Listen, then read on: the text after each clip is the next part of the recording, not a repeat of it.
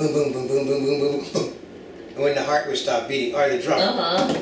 Which is why women, if you go with a female, they know when to hide their heads. Yeah. For the, the gross parts. Yeah, same with that. But they, they, they well, here's the thing though. This time they kept the premonitions of death. They did it straight because they got a different set of actors. Which is funny. The actors are getting better, and the movies are getting worse. Well, because it basically, okay, what do I have to do? Well, you have to do everything wrong and you die as a result of it and you get paid for doing it. And then it makes lots of money in ancillary sales, which means if you have a back-end profit thing, you don't have to worry about making your house payment next year. Oh, oh, okay. Mm -hmm. But they're guaranteed money machines. This is a money machine. It's not... Um, part of, here's part of it is when you have a franchise that's been successful, just like on um, the one with Milla Jovovich, it's like it's hard not to continue to do the franchise because you've already got a built-in audience that you know will come and see it. So, you know, it's like one of those things it's like you're not going to make a huge amount of money, but you're all going to continue to work. Yeah. The franchise continues, and every time you build another one, yeah. what happens is then you have new DVD releases and of all can, the other ones, they and they can put them all together. It's just like um, it all builds. And here's a complaint too about D'Agosto. Di Quisto is a um, Nicholas De La Cruz. Oh. But the, um, the, the big complaint is that he's rather a bland person. Yeah, that's the character he's playing is a bland person because he's definitely not that way. He's a bubbling, basically, it's one of the, oh, oh, oh type when you're interviewing. Oh, oh, and then you know, like he, oh, I remember something. Mm -hmm. He's just, he's wound up about everything he does, totally wound up. And he's, he's an ungodly athlete too. Oh yeah, because if you saw him and fired up with Eric Christensen, oh, he's doing, you know, he's it's like they were doing all those flips and everything. Yeah, you know, they're playing a couple of cheerleaders. They figured that's a way to get the girl. Of course, both of them are in their thirties and playing high school kids, but and one of them is about six foot, mm, and you know that that's Eric Christensen. But um, then Christensen, base and, and Nick is, you know, falling off of belt, belt and stuff, stuff. But he's very athletic. He'd basically almost be a stuntman Oh, but, you know what? I never thought of it. He probably could have been. So, you know, it, it, it's just like these are roles. Um, okay, um, what in my era you had a set of people that would appear in these things all the time. It would be like Lyle Talbot, um, Douglas Fowley, uh, Regis Toomey. Women would be Ann Dorvac. Uh, you know, uh, basically you'd have a whole bunch of men and women that would basically, they filter from our, uh, Kenneth Tobey, for instance, from the thing, was in a lot of things like this, and we talked. I really did a lot of bad sci-fi stuff when I was younger. Really bad sci-fi stuff.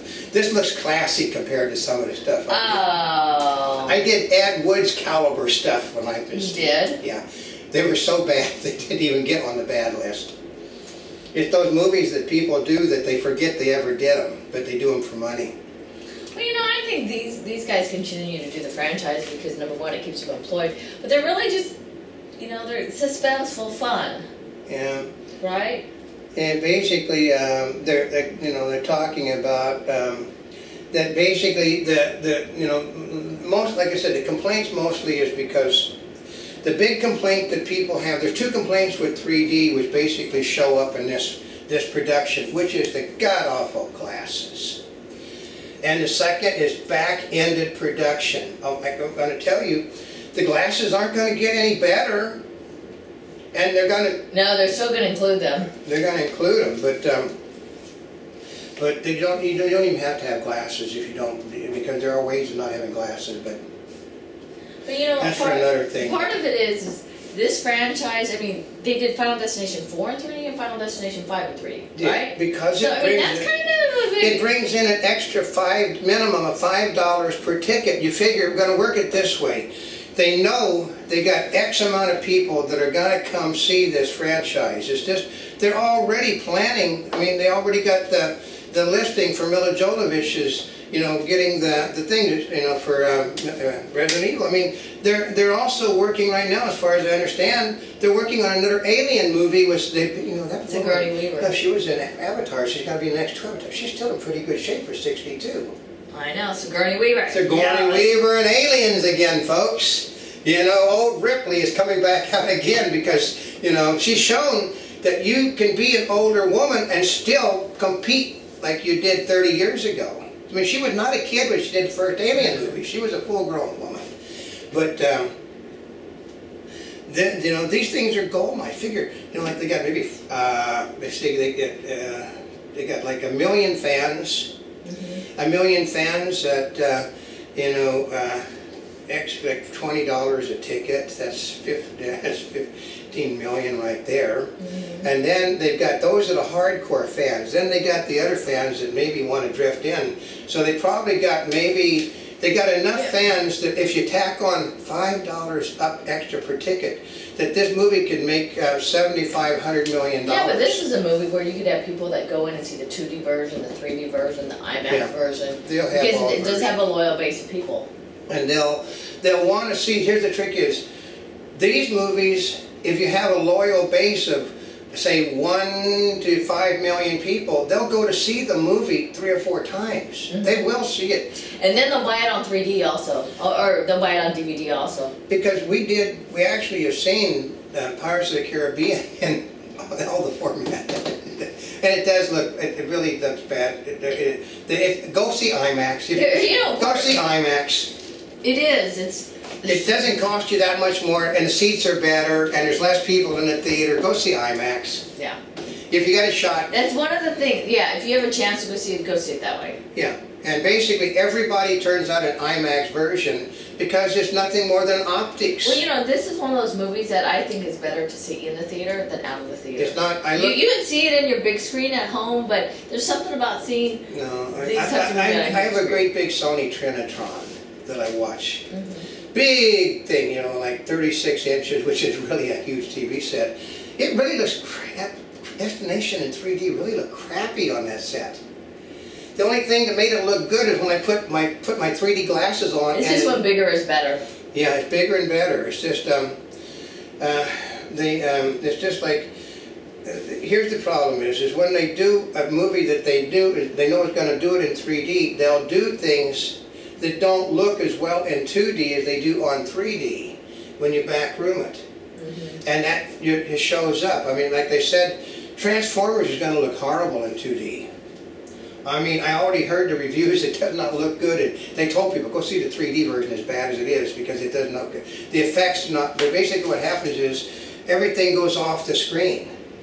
And, um, you know, like I said, but this, this movie is based upon the worst possible element that they, I, was taught from the time I was about this tall, that anticlimaxes are horrible. This, that. This one's got tons of them. It's, uh, it's, it's a whole movie based on the But anticlimax. it's a suspenseful, supernatural movie. But- That's what it's supposed but to be. it's, it's just like that.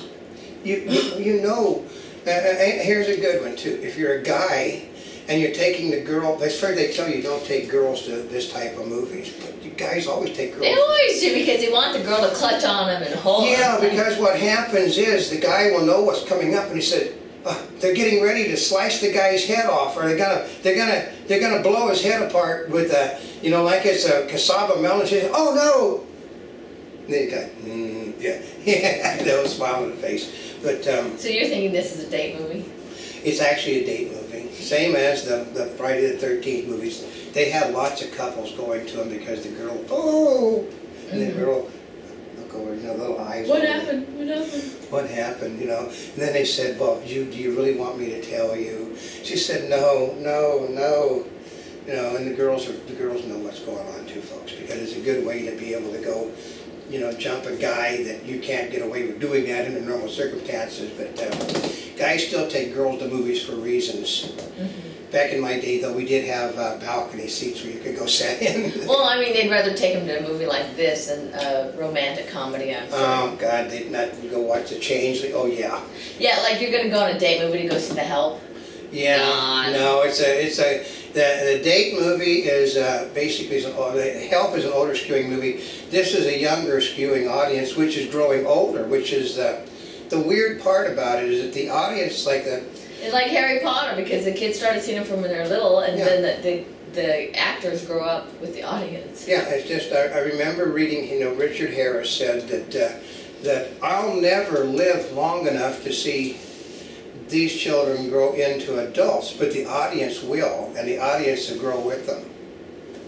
and the audience has grown. This was basically, I'm figuring high school, college kids when these things started. Mm-hmm. Because look at the people in the movies are not, not a spring chick's age and not my age because they're, they're, you know what happens is somebody my age get whacked? I think, I think Tony Todd is in this one too. did they whack him off according to age? You know. I don't remember if I saw Tony Todd or not. Go to the credits. Um, uh, Molly Way, Jacqueline, Courtney. Yeah, there's Tony Todd. Tony Todd basically was also he, he's done a whole series of uh, movies where he's he's played you know really he's a big muscular gentleman and you know bald headed. He plays a lot of these eerie parts, but you figure right off the bat, Tony Todd is in the movie. What? It's a it's an action movie with lots of scary elements. Ooh. That's what he does. But uh, he's a good actor. Ooh. You pick out some of the people. They try to pick out people like Courtney Vance, um, basically Barclay Hope. Okay, I'm going to tell you right off the bat. I can tell you no matter what they say. I, I you know I've gone down. I've seen the thing, but I go down the cast list and I'll tell you it's, an, it's a Canadian movie Oh, because the actors involved. because the actors and the way the way it looks. Well, here's one of it is like if you haven't seen the other ones, you see this when you fall in love with it, then you can go back and see all the other ones too. Yeah, but it's uh, So- it- it's meant it's meant to make you go see what ha- because uh, Well, because people do that. They, it's like they fall in love with a movie or um, fall in love with the show, then they want more of it, right? so do- you do have It's more. just of it. like, these are our version, of the, the, the 21st century version of serials. When I was younger, we crappy things with Buck Rogers. I, I actually saw John Wayne, some John Wayne serials. And I, where John Wayne is playing, uh, he's playing a French Foreign Legion pilot. And him and his, his, his, he took his uh, mechanic with him all the time when he's fighting the Muslim. Naturally, he'd take your mechanic in the back seat. But he'd be crashing his airplane. He would be, you know, he'd be a lot of crashing his airplane, going off of cliffs, going right into building, and and then the airplane would be intact the next picture. You know, or you know, or like the guy rides his horse. You know, you know. Uh, uh, people even know who Red Ryder is, but basically he was bit big in my period too. He would ride his horse off of the cliff, and you know, you know, you see the picture of him, you know, falling from his horse, and the next thing you know, he'd be, you know, sitting astride his horse, getting out of the water. He fell off the horse. They know he got killed. So, but um, this is how it's done. It's just a modern day version of a serial where you know the, the you, you know, except this time you know that the guy people you like aren't going to make it. So don't get attached to the people in the roles, which is a reason why, that like some of the people have said, the characters are bland and have no charisma to them. Because if you get attached to a character in a movie like this, you end up um, it's just like I remember. Um, like Spider-Man's not coming uh, back. people, Spider-Man's not coming back. Or um, uh, I was young. I, I got. I saw the. You know, I saw the charge of the Light Brigade with Errol Flynn, and there's a lot of adults, you know, that really loved Errol Flynn action, and and they say he's going to get killed, and he you can't kill Errol Flynn. He's going to get killed, you know, because they've all read, you know, onward ever onward, and they know that he you're charging through the cannons of Balaclava in Crimea, and the cannons to the right, cannons to the left, cannons are wiping everybody out. But the problem was is that what it was really, uh, you know, I think was Kipling, but it was a real thing about they charged. Once a cavalry charge stops, nothing on earth can stop it. And by the time the cannons are leveled, they're no longer, it's like you got an automobile. You have to fire in front of everybody. And the cannons that are firing now are already hitting the back of the charge. So you couldn't stop the charge no matter what. But Errol Flynn dies in charge of the Light Brigade. And all these, all these women and grown men, Errol Flynn got killed. Well, God, yeah, it's the charge of the Light Brigade. They knew he got killed. they knew it was all about the whole thing. The guy basically... But part of it, they always want him to survive. Yeah, they want him to survive. If you make a whole bunch of characters that everybody loves, and they get killed, I know. God, it's like killing Bambi. They're like, ugh. You imagine if they killed Bambi and the, if the Walt Disney would have shot. It's better yet to have characters you don't like and then they get killed and then you cheer. Cheer, yeah. Oh, Yeah. Our, our, our, I sat in. Um, I, sat in a movie theater with Richard Kiel, who played Jaws in a couple of James Bond movies. He's in the back of the theater with his family. We're sitting back there with him. And he became the good guy in this thing. And people, you know, that as Richard Kiel did, he's basically doing the good thing. Yay, yay, yay, the people, he's sitting there crying. Because people, get him, get him, Jaws, get him, you know, you know, Jaws, yay, and they're cheering, they're going like this. Because, you know, he was a big, likable, big lug, you know. Even though he was a bad guy to kill people, they still liked him and he survived, so. Mm. You don't kill off people that you like unless you're doing combat, then you kill everybody off. So, no, but um, but uh, it, it's it. This is you know, like I said, if you want to waste thirty dollars, this is probably a better way to waste thirty dollars than going to see the Apes movie. no, because I I. This is a Canadian movie. They can call it anything they want. It's a Canadian movie. You mean like Conan the Barbarian is gonna be Canadian? I know. Actually, it's more like a sci-fi movie. It's a it's a sci-fi movie. It's all the actors are sci-fi. I recognize. I know. I go down. I see the faces on the screen. Then I go to the cast credit list. I recognize sci-fi act. Okay, anything Barclay Hope is in, folks, is a cheap ass movie for the Sci-Fi Channel. I know. It's just that feeling that you're watching a sci-fi movie that's on the big screen. They're all meant. Okay. th- But this one is this is this has been a blockbuster franchise. Yeah. It's been over and over and But over they, again. they go to where they can make it for the least amount of money because uh, you think you could make this movie in the studio zone in Los Angeles and expect No, to make because it's too profit? expensive. Too expensive. You know, and part of it is they do a lot of scenes in the dark. And yes, 3D's there, but it's not so. This is a movie that could have been in 3D or not in 3D. Yeah. It's it's But more the 3D and it just adds another layer. But they're, they're doing it, the 3D, because they said they have, I think, one to five million regular visit, regular people who go see it. They will go see it in 2D and 3D, because mm-hmm. they want to do the comparisons, which means then they'll buy, they'll go see the movie two to three times, so if you, if you do it in 2D and 3D, they go to see it You like doubled your audience. You've doubled the audience with the same audience. They've got a captive audience. It's, um, um, it's just, you know, like World Ra- Worldwide Wrestling has an audience. They only play to that audience. They get the same ratings every time. This will get. I remember the, the, the people doing the wrestling.